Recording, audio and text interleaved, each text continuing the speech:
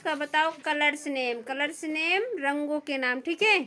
बताओ red. R E D. Red red means लाल। ठीक है blue B L U E blue blue means Neela. White W H I white means pink सफ़ेद होता है। Red pink P I N K pink pink means गुलाबी green G R W E N green green means हरा yellow